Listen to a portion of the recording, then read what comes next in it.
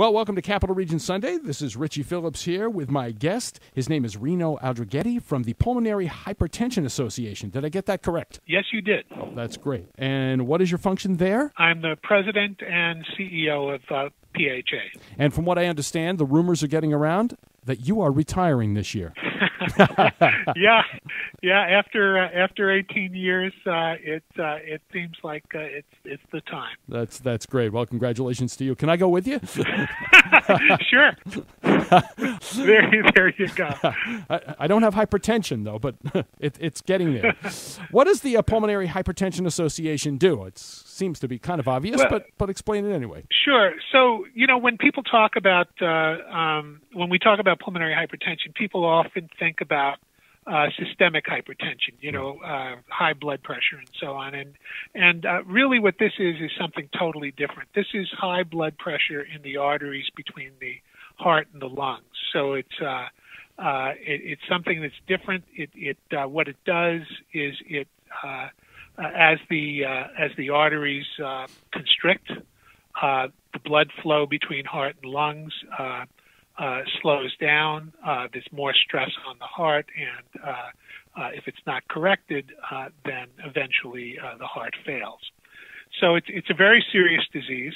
Uh, it uh, it is one that is uh, often missed, uh, and uh, it is uh, it is often underdiagnosed. So our job is to help tell the world about uh, pulmonary hypertension and to fight the disease through research and medical education as well. You know, we we are we have moved from the point where just uh, last week, uh, PHA celebrated our 25th uh, anniversary. So four women came around a kitchen table uh, in uh, uh, in Indiantown, Florida. it when they met with each other. around that kitchen table on January 12th of 1991, uh, they, uh, uh, for two of the women uh, around the table, it was the first time they met another patient after two years of searching. So the disease was extremely rare.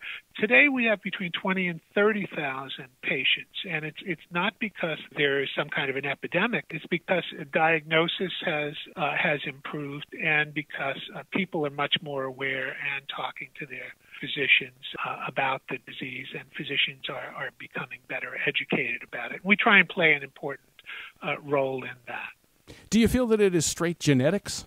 That causes it? Um, that's a great question because uh, there uh, there is a genetic component. Uh, about uh, about 15 uh, percent of the uh, the patients have a genetic relationship to the disease, and you know one of the things that we have at PHA is a an international conference. It happens every two years, and before our first conference. Just a, a, quick side story. Uh, our conference was uh, was proposed the year after the organization was founded, and uh, the husband of one of the founders uh, said, "You know, we should have an international conference." There was eight hundred and thirty-one dollars and twenty-seven cents in the treasury at the time, and they said, that "Ed, well, maybe not next year, but maybe in 1994." and they decided they were going to do it. So, so that kind of risk that the organization took uh, to do a conference resulted in not only a couple of hundred uh, patients getting together and some doctors and and uh, uh and caregivers, uh, but uh, one doctor called them a couple of weeks before the conference and he said, "Could I could I draw blood?" at the conference, and they they had no idea who he was. They didn't know even if he had a medical license, but they checked him out.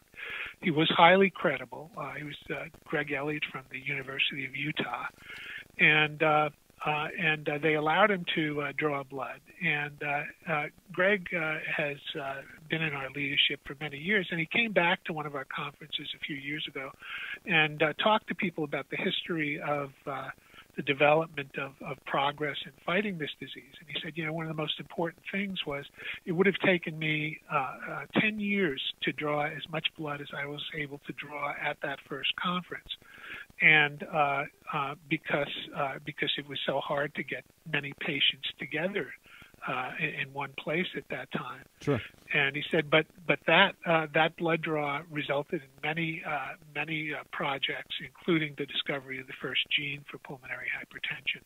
Now, do you find that when a celebrity discloses that they have a disease, something like hypertension, um, pulmonary hypertension, that it, of course, it's going to raise awareness? Like, for example, David Letterman. Sure. Did, did David Letterman actually have that particular condition? I do not know if David Letterman did, but you know what? Just uh, Natalie Cole. Yes, I was just thinking uh, about that. family just spoke about uh, um, uh, that uh, she had that, which which uh, uh, which was you know th- this is something that uh, she was fortunate to have it diagnosed, but like many people, it, it's diagnosed late. We have an early diagnosis campaign uh, and, a, and a web t- uh, site. Uh, uh, sometimes it's ph.org that you know that talks about symptoms and how to talk to doctors as well about the, the disease.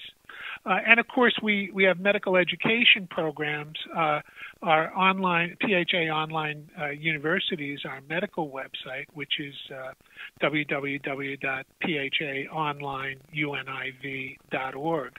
Uh, which has a tremendous amount of uh, medical education and uh, accredited uh, medical uh, uh, courses which are which are put together by experts in the field and and are used by physicians uh, around the world now uh, to understand more about the disease. And then we do about uh, 60 uh, or so face-to-face medical education meetings in the U.S. as well. Now, can someone join the association? You betcha. That's, that's Gee, I'm wondering. question. Aren't you glad I asked that question? yeah, I, I certainly am. So uh, I'm very well so, trained uh, in, in, in helping you. and thank you. So, uh, so ph uh, www.phassociation.org is our website, and uh, uh, many people. There are a lot of ways to join. People get information through their their doctors and nurses, but. Um, uh, but anyone can take a look at our uh, our primary website, phassociation.org, and uh, and there is membership information there as well. It's a very inexpensive membership. It's uh, fifteen dollars per uh, per year, Oh, and then there are family memberships and so on. That's great. We have two medical associations built into PHA as well. One for uh, physicians and researchers, and uh, one for allied health professionals like nurses, respiratory therapists, and pharmacists. I'll have links to all this information on our website. And in fact, uh, Rino, this information and this interview is going to be on four of our radio stations. So you'll have a lot of people uh, very, very interested in clicking and getting more information. Thank you, thank you so much. You know, um, besides uh, besides joining uh, at phassociation.org, uh, we also have uh, an online newsletter, PHA News, uh, which comes out weekly and uh, uh, has a lot of uh, good information uh, about uh, about the illness and and uh, advances in the medical field as well. Uh, and that that's something people can find on that website too. And you also have a conference coming up?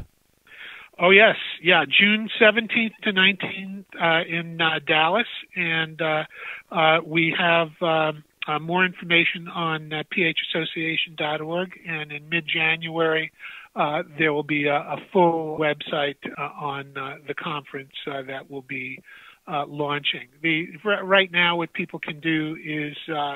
Is uh, go to phassociation.org and then look at the education tab, and under the education tab will be the 2016 conference uh, information. Well, that's great. I'm hoping that people will get on there and uh, find out more about this because it's it's really it has taken lives and it shouldn't. Oh yes. Rino Aldrighetti, thank you very very much for calling in this morning. Well, it's been my pleasure. Uh, I've enjoyed speaking with you, and, and thanks for helping us spread awareness uh, about pulmonary hypertension. Great. Thank you very much. Have a good day. You bet.